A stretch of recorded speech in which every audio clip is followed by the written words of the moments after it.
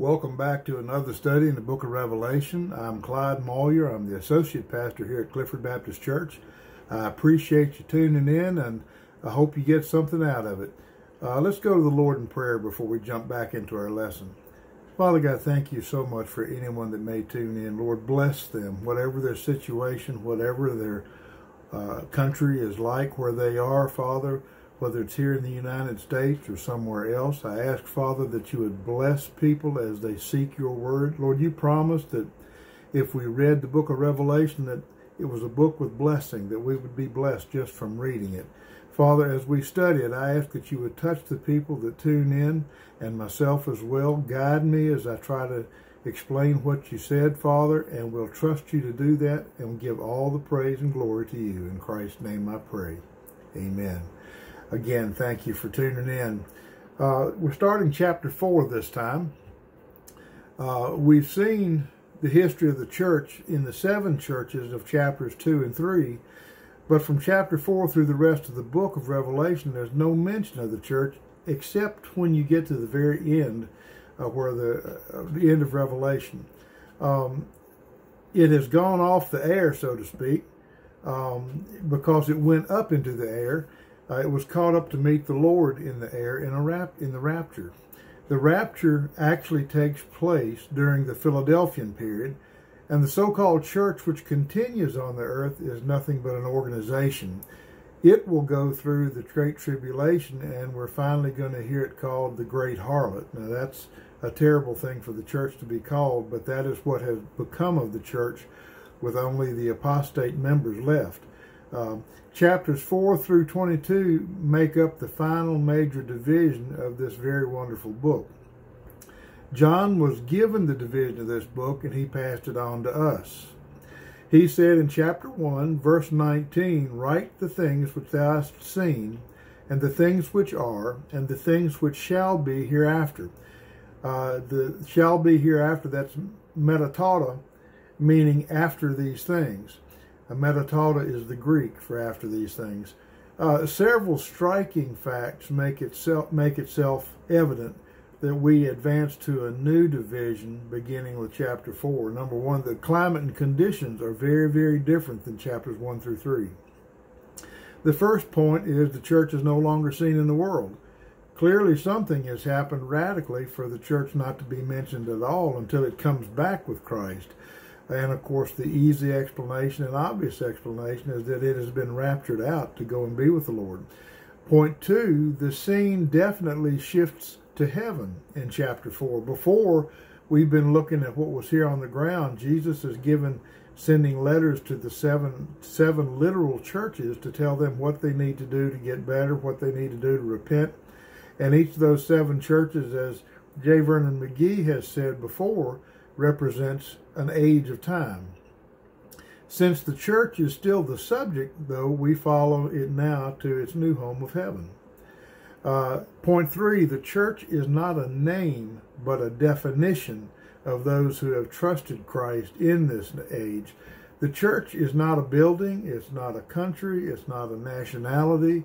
The church is every single human being that has accepted Christ as their, as their Savior and are born again. We are one body with one one Bible, one Word, one Spirit, and one Lord. Uh, it doesn't matter what country we're from. If we're Christians, we are brothers and sisters in Christ, and we should love each other. And at this point, we're with the Lord in heaven. Point four. The judgments beginning at chapter 6 would not be in harmony with the gracious provision that and promise that God made to the church about taking care of it. If the church remained in the world, it would frustrate the grace of God because he promised to deliver us from judgment. We're still here. We weren't delivered. Therefore, it clearly is gone. Uh, point five.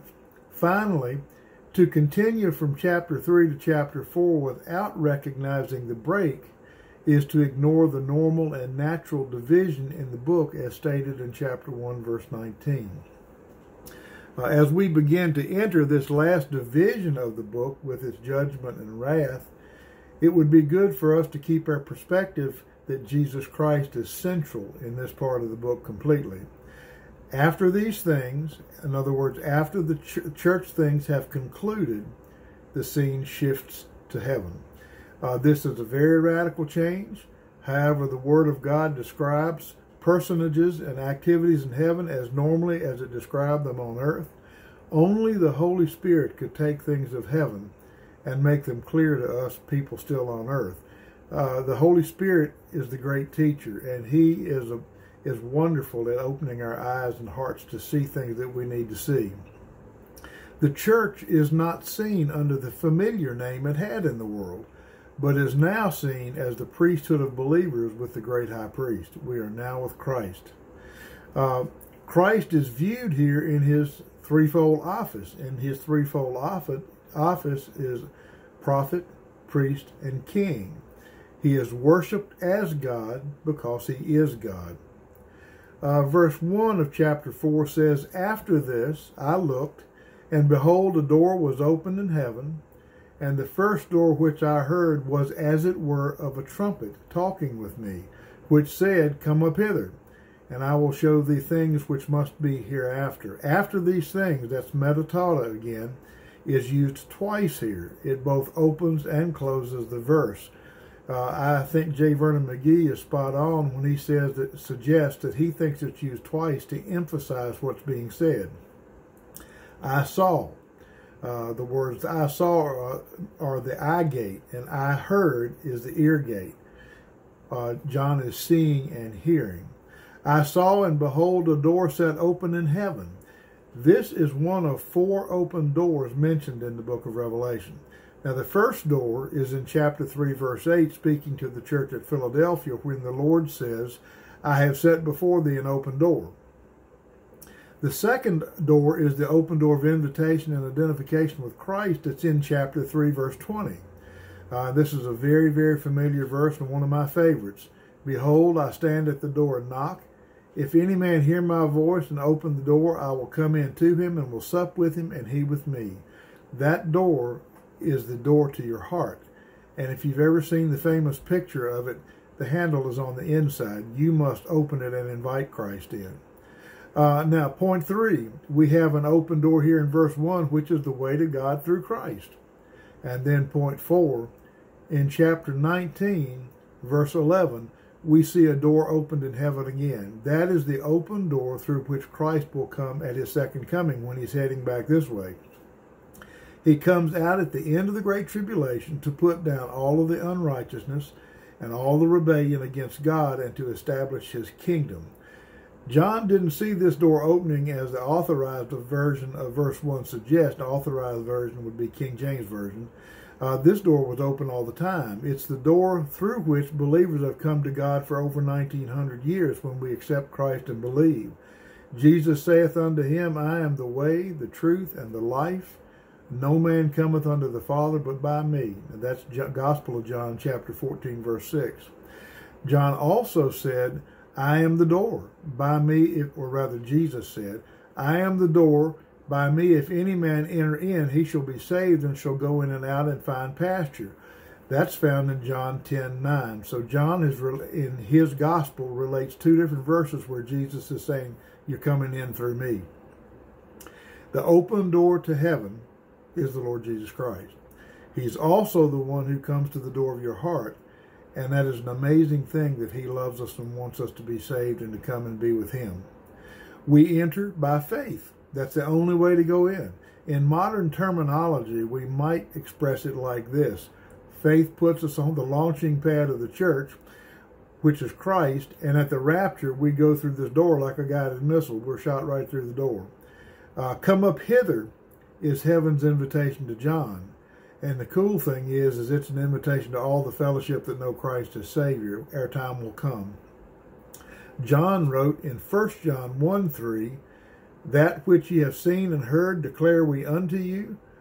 That ye may also have fellowship with us, and truly our fellowship is with the Father and with the Son, Jesus Christ. John, in effect, is saying, We heard it, we saw it, and now we're telling you what we heard and saw. I'm letting you know this so you can have fellowship also, and one of these days you'll be going up through that same open door. The Apostle John is comforting us and encouraging us and saying this will happen to us, our time will come, we should wait patiently. Uh, and the first voice which I heard, a voice as of a trumpet speaking with me. Now, this is the sound which calls the church to meet Christ in the air. And whose voice is it? It's the voice of Jesus Christ. And it is so magnificent that it sounds like a trumpet. In the New Testament, in 1 Thessalonians chapter 4, verses 16 to 17, God's word says, For the Lord himself shall descend from heaven with a shout, with the voice of the archangel and with the trump of God, and the dead in Christ shall rise first. Then we which are alive and remain shall be caught up together with them in the clouds to meet the Lord in the air, and so shall we ever be with the Lord. When anyone tells you that the word rapture is not in the Bible, remember that the Greek word for caught up is harpazo. That's H A R P A Z O. It means caught up, raptured, or snatched up. Uh, come up hither, and I will show thee the things which must come to pass after these things. After what things? After the church has completed its earthly run and is caught up. Verse 2 says this And immediately I was in the Spirit, and behold, a throne was set in heaven, and one sat on the throne. Sat on the throne. At once means straight away. It's referring to how quickly this happens. It's, it's one of the characteristics of the rapture. Uh, Paul said that we are to be caught up in a moment, in the twinkling of an eye. And actually, uh, it's that twinkling of an eye has been measured, and it's estimated to be approximately one, one one thousandth of a second. Now, that's moving on pretty good. Uh, I found myself in the Spirit uh, John says. In other words, the Holy Spirit is still guiding John into new truth and showing him things to come. And John also says, And behold, a throne is set in heaven and one sitting on the throne. The throne was already there. But John now, John now sees it for the first time. Uh, our attention is now directed to the center of attraction. Uh, the throne represents the universal sovereignty and rulership of God. A throne of grace now becomes a throne of judgment. While Jesus was on earth, he was not judging people, and in fact, he said so. You remember the woman that, uh, that was caught in adultery, and he said, Neither do I judge you. Go and sin no more. But now that he's in heaven, the next time the world at large sees him, he will be their judge. Uh, this is another reason that I say very definitely that the church has now left the world when this takes place because if the church were still on the earth, when Christ has left the place of intercession and has come to the place of judgment, he's in the wrong place for the church. Verse 3 of chapter 4 says, And he that sat was to look upon like a jasper and a sardine stone, and there was a rainbow round about the throne in sight like unto an emerald. All that we see here is color, beautiful color like precious stones, we don't really get a picture of God as all at all. Uh, quite frankly, and this is a, a kind of a hard to describe point, but I don't think we will ever see God the Father. God the Father is spirit.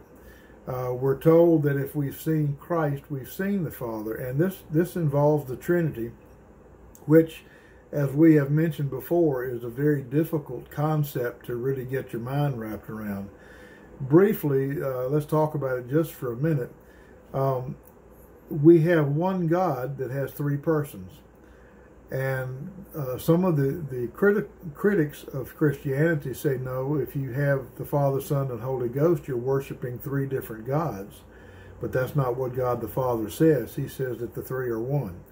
Uh, one of the best, uh, excuse me, one of the best descriptions of that that I've come across is one across is one my wife uses with her preschoolers. When she teaches Sunday school, she will bring in a pizza and ask the children, how many pizzas do I have? And they will say one. And then she'll cut the pizza into three equal pieces. And she says, how many pieces do I have? And they'll say three. And she says, but how many pizzas do I have? And they will repeat again, one. And she uses that to explain the concept of three and one. I think that is about as good a description as you can come up with. Another description that has been used is using an egg. The shell, the yolk, and the white. Three things, one egg. Uh, each of the individual parts has its own job to do, its own characteristics, but the three are still one egg or one pizza. Uh, I suspect that's about as close as I'm going to be able to come to talking about the Trinity. Uh, anyway, let's go back to verse 3. I'm going to reread verse 3. and he that sat up was to look upon like a jasper and a sardine stone, and there was a rainbow round about the throne, in sight like unto an emerald. Uh, our direction is directed directly to the one who is seated on the throne, and although he is God the Father, we should understand this to be the throne of the triune God, all three. Nevertheless, the three persons of the Trinity are distinguished. One, God the Holy Spirit in verses 2 and 5. Two, God the Father here in verse 3. And three, God the Son in verse 5 of chapter 5. And he that sat upon it was to look, look upon like a jasper now, I really didn't have the color right when I started checking into what a jasper looked like. The jasper stone, number one, is the least is the last stone identified in the breastplate of the high priest. But it was the first in the foundation of the New Jerusalem, and also the first seen in the wall of the New Jerusalem. It was a many-colored stone with purple predominating. And I believe I'm correct, correct in saying that purple is considered a royal color. Um, some identify it, uh, some scholars identify the jasper stone with a diamond. Now, I'm not sure how you consider a, a, a, stone that is predominantly purple a diamond, but they must have some reason. So there's some disagreement as to what it actually looks like. But it was in the breastplate of the high priest of Israel, representing little Benjamin, the tribe of Benjamin, whom Jacob called the son of my right hand. Uh, perhaps this speaks of Christ as he ascended and took his place at the right hand of the Father. Uh, the sardine stone is the sixth stone in the foundation of, the, of New Jerusalem. And in color, it was a fiery red. Again, I would not have picked red to go along with the word sardine. The sardine stone was the first stone in the breastplate of the high priest, and it represented the tribe of Reuben, the firstborn of Jacob and Christ is the Son of God, the firstborn from the dead. Rainbow is the Greek word iris, which can also mean halo. While the rainbow is polychrome, here it is emerald, which is green. Uh, J. Vernon suspects, and I, I, don't disagree with him at all, that God may have it this color, the rainbow shown here, because of the fact he had destroyed the earth once with a flood, and he had promised that it would never be destroyed by flood again, and God always keeps his word. That being the case, this rainbow here around the throne is a reminder that he will not destroy it by a flood again. Uh, green is the color of the earth. The suggestion here is that the prophet Habakkuk, uh, it's verses, verse 3, chapter 3, verse 2 in Habakkuk, in wrath remember mercy. And we're going to close with that thought. In wrath, remember mercy, and God will do that. Thank you for tuning in. God bless you. Let's close with a word of prayer. Father God, thank you so much for the folks that tune in. Please remove me from any of the study, Lord. Let only your truth be heard. Correct me if I need correction. Bless them and protect their minds that they hear you speaking to them and not me. In Christ's precious name I pray. Amen. God bless you. I look forward to seeing you next week.